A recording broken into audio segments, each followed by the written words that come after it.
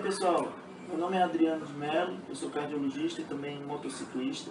Nós vamos ter um encontro em Ubajara, que nós vamos realizar uma palestra sobre as doenças cardíacas, as principais manifestações, como é que a doença se manifesta, como é que ela ataca a pessoa, devagarinho, aos poucos, sem dar muito, muito, muito aviso.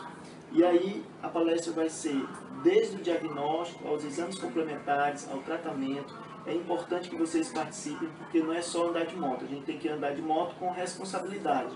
Então as doenças que afetam o coração, elas podem causar acidente sim, entendeu? Aguardo vocês no dia 1 de agosto no hotel com a palestra das cardiopatias e suas manifestações, ok?